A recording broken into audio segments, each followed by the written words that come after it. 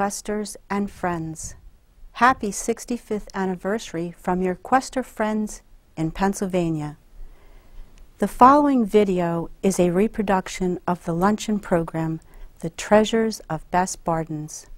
Pamela Todd, a Pennsylvania Quester, gave its first performance at the Questers International Convention in Hershey, Pennsylvania, May 3, 2009. The theme that day was to pay tribute and thank Jessie Elizabeth Bardens, the founder of Questers, on the organization's 65th anniversary. In response to numerous requests for a repeat presentation, the idea for a video surfaced. We will try our best to create the atmosphere so well received at convention. We especially want to thank the Communications Department of the Central Bucks South High School who made this filming possible. Did you ever want to know more about Quester's beginnings? Did you ever wonder about the history of the founder and want to know more about her? This became my goal and quest as I used the Quester motto, it's fun to search and a joy to find. My name is Donna Caddick. I am a member of Salt Cellar Chapter 329, and I served as the luncheon chairman. Now sit back, relax, and imagine it's the day of the luncheon, and you have just been serenaded by the millionaire strolling strings. Oh, yes, hats and gloves, ladies. You enter the luncheon ballroom and see 60 luncheon tables decorated with our Quester colors of blue and gold. On each table is a centerpiece doll in the likeness of our founder. The doll is elevated on a stand that displays our new Quester brochure and expresses what Bess believed in learn, search, and preserve. She stands tall and looks down upon an antique. Yes, there is a treasure on every table, all donated by Pennsylvania Questers. A thank you card addressed to Bess accompanies each antique, and many cards include information about the item. We followed this idea because Bess used the term treasures frequently and said, sooner or later, the bug bites and you will collect something. Now you can see what she meant. Bess's granddaughter, Nancy Rink Kelly, attended the convention as our special surprise guest. She gave a wonderful talk on memories of her grandmother. Nancy recalled how her grandmother liked to entertain and loved a party. Bess did not miss her party that day, as we could all feel her presence. I hope you too can feel the presence of our founder, as Pamela Todd allows the spirit of Jessie Elizabeth Bardens to pay her a visit as she again presents the programs the Treasures of Bess Bardens. In skies of blue with rainbow hue, dreams come true. My dream for a firmly established national organization came true in 1953 with the granting of our charter by the Commonwealth of Pennsylvania. What I am envisioning now for the year 2009 far exceeds any dream I've ever had for Questers. But without imagination, we have no future. And besides, you didn't really think you could have a big 65th anniversary party without me, did you? And without memory, we have no past. And who would be without the beads of memory? Now, you probably already know that my name was Jessie Elizabeth Snyder before I married. At least that's what I thought. So imagine my shock when I applied for a marriage license and learned that the person I thought I was for 21 years did not even exist. not legally anyway. I learned that my name, in fact, was Ellen Cook.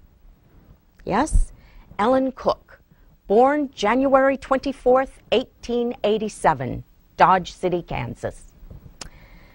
My mother died just two weeks after my birth, and my father was unable to care for me by himself. The Snyders, Aaron and Mary, were passing through town on their way to California. When they left Dodge City, they took a new baby girl with them, renamed me Jessie Elizabeth Snyder, and raised me as their own. But they never told me. And they never formally adopted me. I know that wasn't all that uncommon for those days, but that didn't make it any easier for me. In fact, it was very distressing. But I don't mean to sound as though I'm complaining. After all, they were wonderful parents who gave me every advantage, and I had a very happy childhood. Now, I met Mr. Bardens at a Fourth of July fireworks display. Rather auspicious, wouldn't you say? Little did I know then that I would be leaving my beloved California to go back east, and I would spend most of my married life in the Philadelphia area. We purchased our home in the suburbs of Philadelphia in 1922. It was a small neighborhood between Ambler and Fort Washington known as Ambler Highlands. Although I suppose you've probably seen my address written as either Ambler or Fort Washington because you see our post office was in Ambler until 1958. And when it changed to Fort Washington, my address became Ambler Highlands, comma, Fort Washington, Pennsylvania. Later, of course, it became simply Fort Washington. They tell me now hardly anyone even remembers Ambler Highlands anymore. But I do hope that at least my questers will keep that memory alive. For after all, Ambler Highlands is where questers began. It was wartime, summer of 42, and I had volunteered for the American Red Cross. I was the production corps chairman for the Ambler branch. Now, Ambler, mind you, not Philadelphia, as some may think. And one day, on a lunch break, I took a walk over to Main Street and happened by Mr. Gerhardt's Antiques and Secondhand store. It was one of my favorite shops. In fact, I bought several tea caddies there. One day, I overheard Mr. Gerhardt's teenage son refer to me as the tea caddy lady. And don't think my eye didn't go right to this tea caddy over here. The caddy, in all its changing beauty, can be regarded as a memorial to the former high price of tea. Oh, it's Tunbridge ware. It's lovely, isn't it? Two good friends and a cup of tea. One is you, and one is me. Oh, but on this particular day, it wasn't a tea caddy that caught my eye, but rather an exquisite pale blue syrup jug, much the same size and shape as this one. It was embellished with beautiful white Grecian mosaics, highlighted by a unique handle formed by the head of Father Time with flowing beard. I paid 75 cents for it. carried it back to our Red Cross workroom in the basement of St. John's Lutheran Church. So many people stopped by to admire and inquire of it that I soon found myself telling them 93 years ago, an artistic potter conceived this lovely object, and its beauty lives on. I saw a spark of light on their faces, causing the gloom of war to vanish momentarily. I often thought back to that day as the war dragged on until one day in 1943, I conceived an idea of starting an antique study club as an avenue of escape from women's constant worries over loved ones across the sea. I invited 14 women to my home and asked each to bring an antique or two to share with the group. The suggested categories were silver, boxes, or quilts. Let's see, what do we have here? Oh, yes, these will do nicely. For instance, someone might bring a couple of antique silver mote spoons. Aren't they delicate? Now, of course, you all know what mote spoons are, do you not? No? No? Oh, well, then maybe you should do some research. Well, after that, I explained exactly how everything was going to work. We would share our collections and do research and present study papers to the group. And then, in anticipation of a time when the war would be over and gasoline would no longer be rationed, we would be able to motor across the countryside, visiting museums and historic homes and antique shops and the like. I told them that I had written a letter to a Mr. Charles Messer Stowe, who wrote an antiques column for the New York Sun called The Quester. And I had asked his permission to use the name Questers for our club. Well, Mr. Stowe sent back a most enthusiastic response, giving me permission to use the name, but he also cautioned me on several points. First, keep the meetings as informal as possible.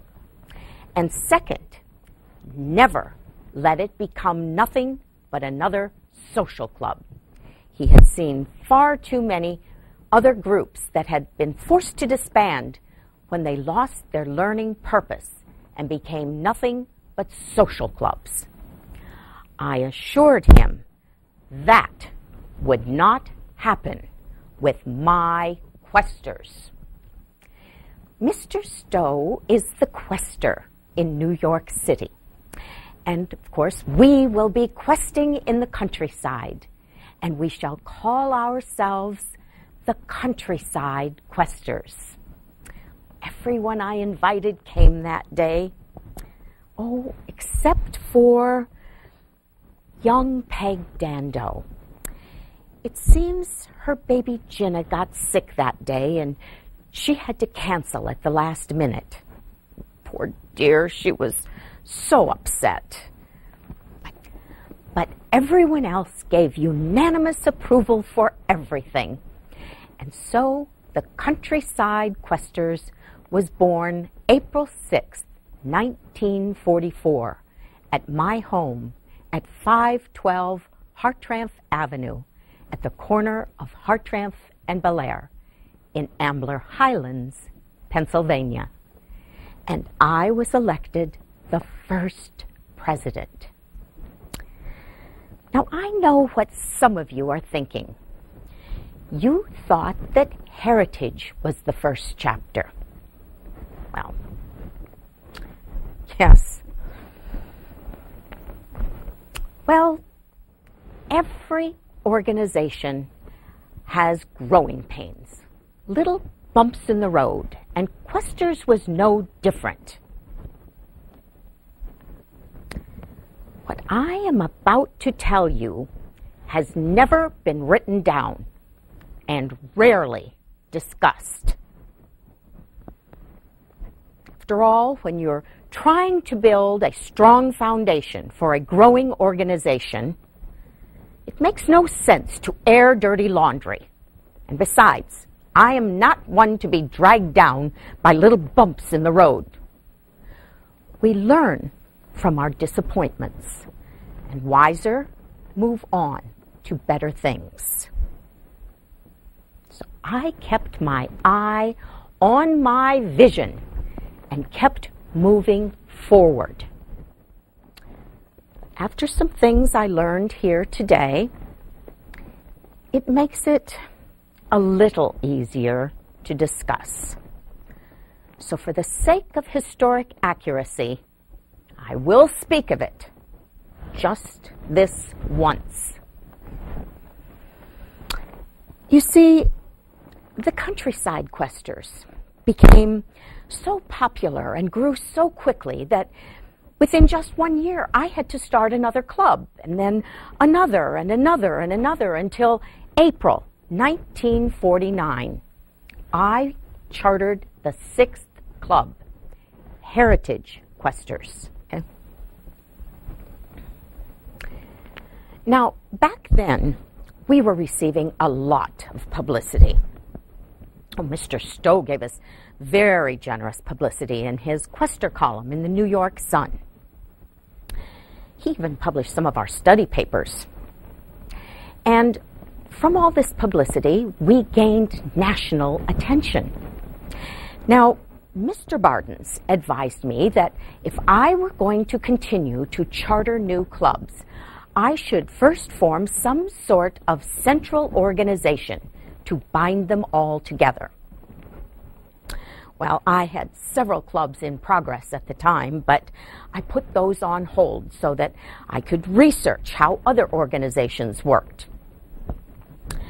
And then I got together with my friend Dorothy, uh, oh, Mrs. Edward Lafferty, and together we consulted a lawyer.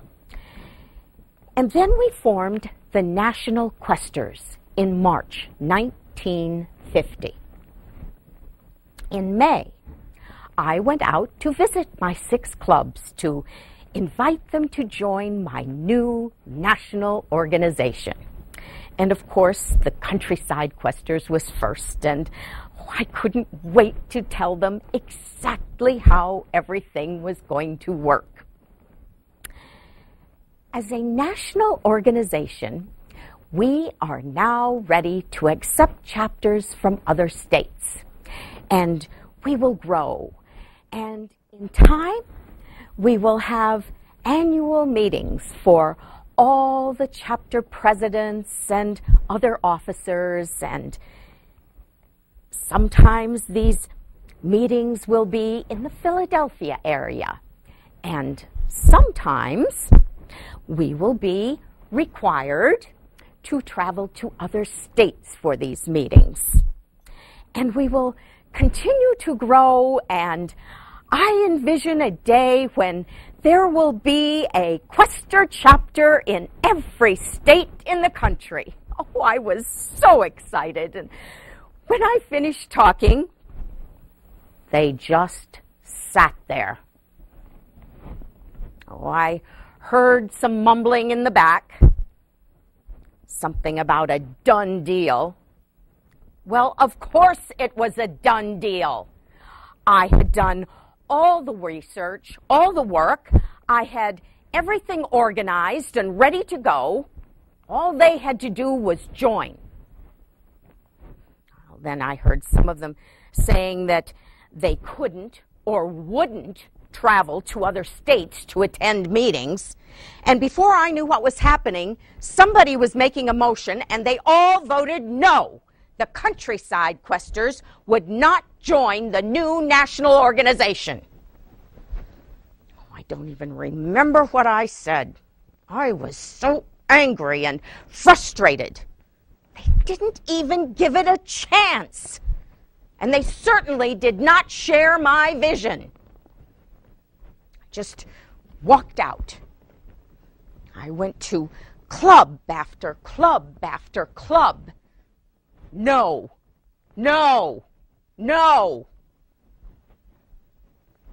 Heirloom Questers, the fifth club, decided that they did not wish to pay the $1 annual national dues.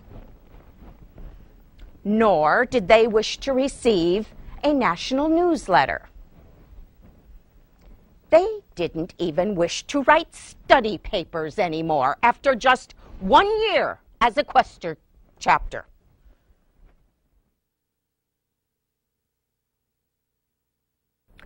They just wanted to keep their money in their treasury and use it for visiting historic homes and museums and such in their local area, but they certainly did not wish to become federated.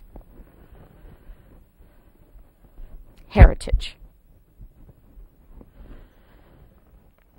Heritage Questers was the only one that said yes, they would go with me. And I will never forget their fine loyalty and the faith that they had in me and in my vision for the future of Questers.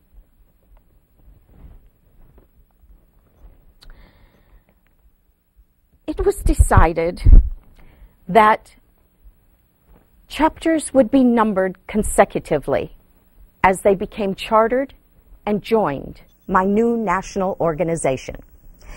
And therefore, the club, Heritage Questers, had a rebirth in the new national organization and became Heritage, chapter number one of the National Questers. I quickly chartered Wissahickon Valley, number two, my new chapter, and Tredyffrin, number three, my daughter Elmira's chapter. Oh, you may know her better as Liz or Elizabeth, Elizabeth Bardens Rink. And I became the first governor of the National Questers, later to be called president. Governor didn't last very long. And I became extremely busy visiting chapters and chartering new ones. And oh, I remember one young lady who came to me and she wanted to start a new chapter, but she had moved to a new neighborhood and she didn't know anyone. So she asked me, um, Mrs. Bardens, how will I know who to invite? And I told her, my dear, simply go out and take a walk about your neighborhood at night when the lights are on and look in people's windows. If it looks like Wanamaker's department store showroom, keep walking. You will be able to see who has antiques, and they are the ones you invite to your meeting. Many hours of pleasure are gained from the study and collecting of antiques because we learn of the historic backgrounds of the people who made and lived with them. But research, research, research before you buy. I remember once I was out in a shop in Wayne and I was rummaging through a box of old bedspreads and I came upon an old paisley shawl that I didn't buy. But a few weeks later, I was visiting a friend and didn't she have almost that exact same shawl hanging on her dining room wall? Well, she proceeded to tell me its Scottish history and its value. Well, when I learned the value I rushed back to that shop in Wayne, but of course it was gone. Hasn't that happened to all of us? Then a few months later, I happened to be in that same shop again. And there it was. I could hardly contain my excitement as I carried it up to the clerk and asked what he would take for it. Well, yes, it does seem to be a little somewhat frayed. In fact, um, I'm not sure how much usable material is here. Well, he finally let me have it for $25, which I reluctantly paid. And then I fairly danced out of that shop, for its true value was closer to 1500 That was a real Scotch bargain. It's what I call finding a sleeper. Well, you all know that my vision for Questers came to pass. And it grew into the fine international organization that it is today. I was overwhelmed and deeply gratified to learn of the Quester scholarships and the Art Conservation Fellowship at Winterthur, the headquarters building in Philadelphia, and the great expansion in the field of historic preservation with over $100,000 given out in international grants just last year. And when I learned thousands, thousands of questers have traveled all across the United States and Canada to attend annual meetings and conventions. Well, I just, I don't know what to say. It's truly a dream come true and so much more. Still, I always hoped that those first five chapters might reconsider and join my new organization.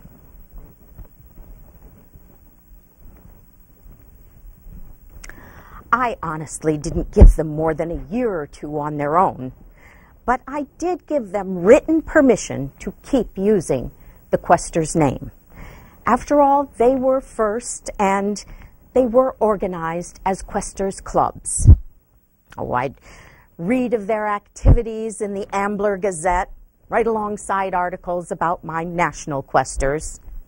They even used some of our questers as speakers at their meetings. Were there hard feelings?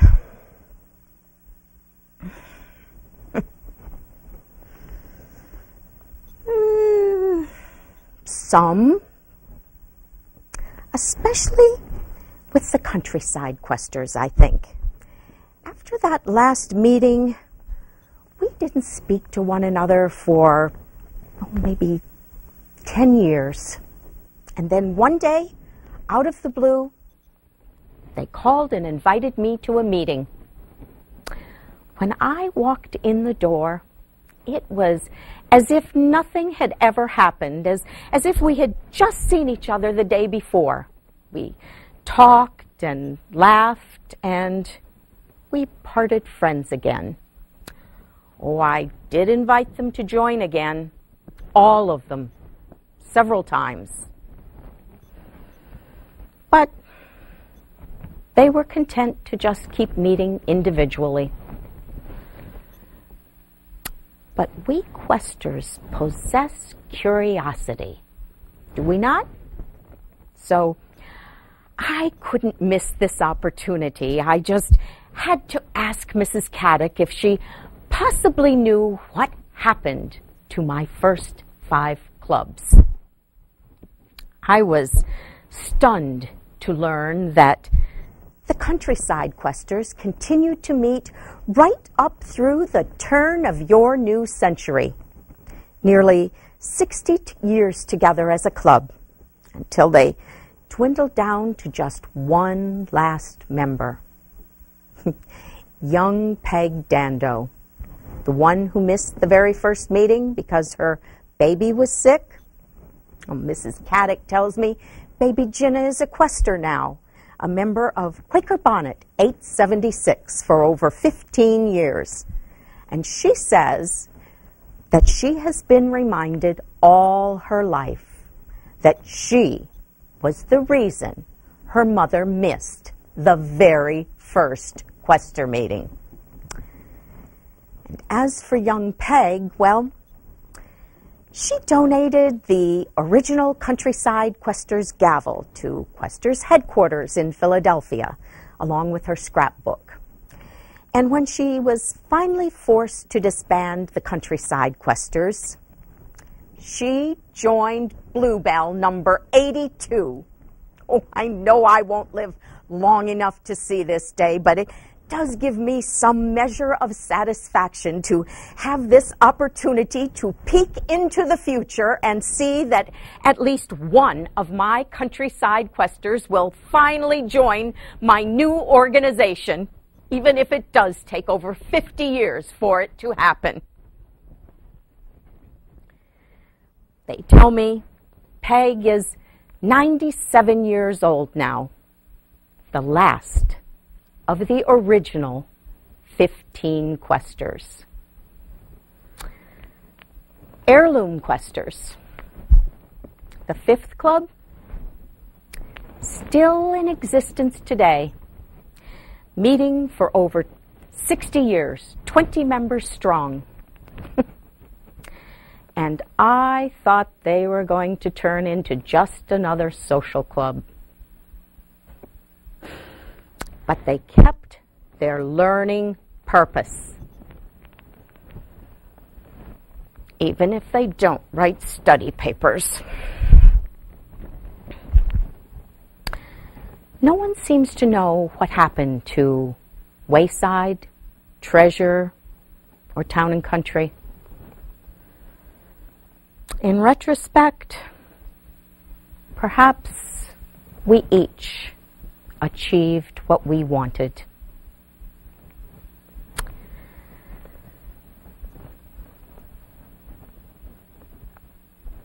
Over the years, I have received countless letters from questers from all across the country thanking me for starting the questers. I was deeply gratified to learn that after 65 years, you will still be writing these letters of thanks to me. I hope that you too will make it a hobby and go out and spread Quester enthusiasm among all your friends and neighbors. May you have many happy hours of questing. For you are the treasures of Bess Bardens. In skies of blue with rainbow hue, dreams come true.